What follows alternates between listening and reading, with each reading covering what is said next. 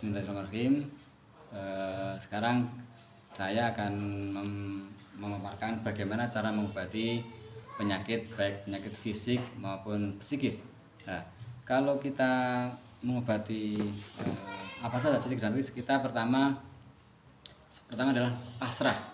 Pasrah bahwa penyakit itu Allah yang menghendaki, Allah yang eh, kalau tanpa izin Allah nggak akan terjadi. Kemudian kita pasrahkan.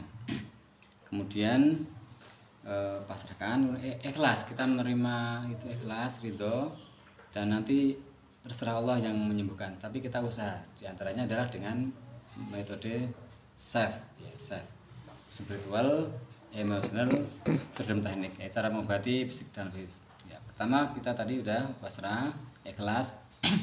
Kemudian kita mengambil eh, setup setup itu mencari mencari dan berdua mencari penyakitnya.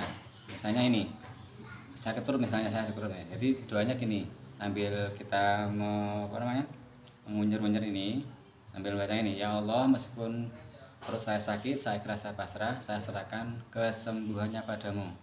Dibaca tiga kali ya, tiga kali. Itu semua. Kemudian kita langsung ke ini caranya caranya mengukur titik ini ada ini pasang ini ini terus nah ini. Sambil mengucap ya Allah saya ikhlas saya pasrah. Terus pindah sini. Ya Allah saya ikhlas saya pasrah. Sambil pikirannya yang sakit ke perut. Pindah sini ya Allah saya ikhlas saya pasrah. Ya Allah saya ikhlas saya pasrah. Ya Allah saya ikhlas saya pasrah. Ya Allah saya ikhlas saya pasrah. Ya Allah saya ikhlas saya pasrah.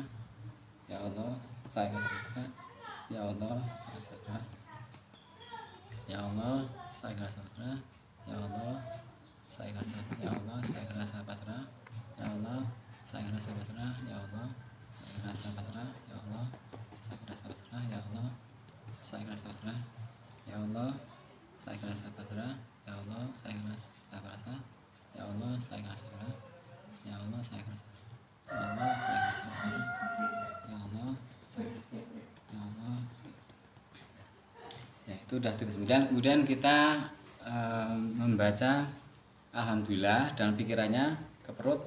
Pikiran pikirannya itu menarik menarik apa namanya menarik penyakit eh, penyakit di perut. Kemudian baca alhamdulillah. Contohnya ini. Alhamdulillahirrahmanirrahim. Alhamdulillahirrahmanirrahim. Alhamdulillah ya ini eh, metode singkat atau short shortcut atau ya metode singkat mungkin itu dulu pak